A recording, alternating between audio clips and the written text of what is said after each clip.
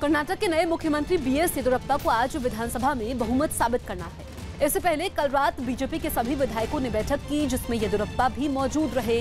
कुमारस्वामी सरकार गिरने के बाद बी एस येदुरप्पा ने शुक्रवार को सीएम पद की शपथ ली थी। इसी बीच बहुमत साबित करने से पहले कर्नाटक विधानसभा के अध्यक्ष किया रमेश कुमार ने रविवार को 14 और बागी विधायकों को अयोग्य करार दे दिया।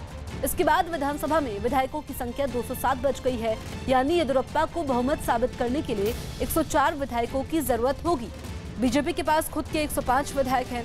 साथ ही उसे एक निर्दलीय विधायक का भी समर्थन हासिल है। इससे बीजेपी सरकार के लिए विश्वास मत हासिल करना आसान हो गया है। दूसरी ओर अयोग्य करार दिए गए विधायकों ने सुप्रीम कोर्ट का दरवाज़ा खटखटाने की बात कही है।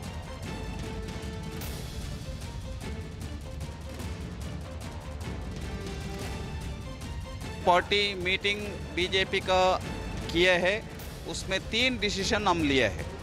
एक बीजेपी का बहुमत साबित करने में आ, पूरा का पूरा सफल हम होंगे क्योंकि 105 M L plus another one M L is waiting to support BJP जो सभापति हैं स्पीकर वो जिस भावना के साथ कार्य करना चाहिए। वो नहीं किया है, शुरू से भी नहीं किया है। और कुल मिलाकर के आलोकतांत्रिक व्यवस्थाओं का उन्होंने सहारा लिया। मेरा मानना है कि संविधान के अनुकूल उन्होंने काम नहीं किया है। जो न्याय की अपेक्षा थी उनसे उन्होंने व्यवहार उनके साथ नहीं किया। मुझे लगता है कि उच्चतम न्यायालय या उच्च न्यायालय में इसकी चुनौती देने वाले पक्का रहेंगे। कानून का विरुद्ध डिस्कालिफिकेशन किया है। हम भी बहुत दर्द है। स्पीकर जी ऐसा नहीं करना चाहिए। स्पीकर जी जो कुछ भी किया कॉन्स्टिट्यूशन विरुद्ध भी किया, काम किया। लॉ का विरुद्ध भी काम किया। इसलिए हम बहुत दर्द भी है। स्पीकर जी जो कुछ भी ऐसा कर, नहीं करना चाहिए। समाजवादी पार्टी के नेता आज़म खान की लोकसभा स्पीकर पर की गई टिप्पणी के विरोध में कई जगह लोगों ने प्रदर्शन किया आगरा में भारतीय जनता युवा मोर्चा के कई कार्यकर्ता एकजुट हुए। और आज़म खान का पुतला जलाकर उनके विरोध में नारेबाजी भी की।